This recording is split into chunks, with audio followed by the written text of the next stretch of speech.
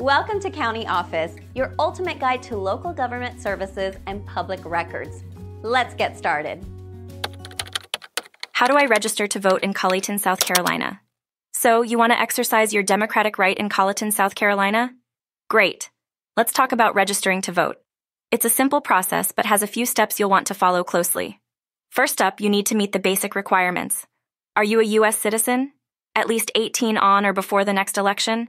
A resident of South Carolina? Haven't been convicted of a felony? Or if you have, your rights have been restored? If you said yes to all, you're on track. Now, where to register? You've got options online, by mail, or in person. Pick what works for you. If you're an internet whiz, the South Carolina Elections website is your go to. Just click and complete the application. Easy. Prefer the charm of paper? No problem. Grab a voter registration form from the library, DMV, or voter registration office. Fill it out, stamp it, and send it off to your county board of voter registration. Maybe you're the face to face type. Visit any voter registration office, DMV, or public assistance agency. You can register there and then. It's a nice way to mingle with the locals, too. Don't forget the deadline. You must register at least 30 days before an election to vote. Mark your calendars. And remember, once you're registered, stay informed.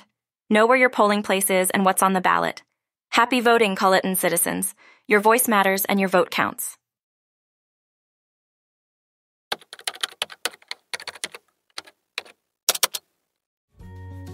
To learn more, check out these links, which you can click in the description below. And feel free to comment your questions. We're here to help. Thanks for tuning in to our video. Please like and subscribe and leave a comment below. See you in the next video.